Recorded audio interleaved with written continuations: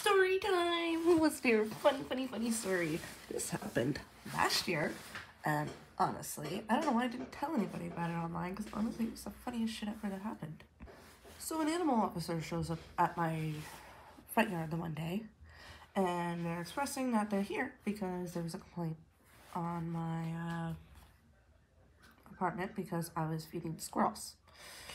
I was feeding the squirrels so they'd stay out of my bird feeder. I was also leaving some carrots in the ground for the rabbits in the area.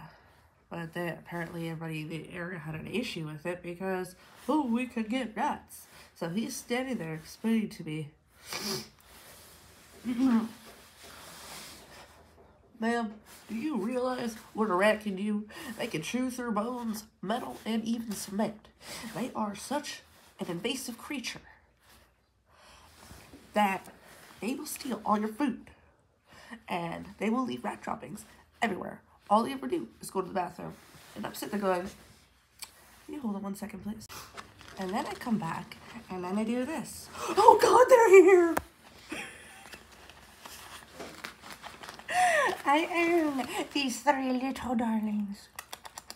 Oh, they are so vicious and so dirty. Oh God, I'm gonna get diseases.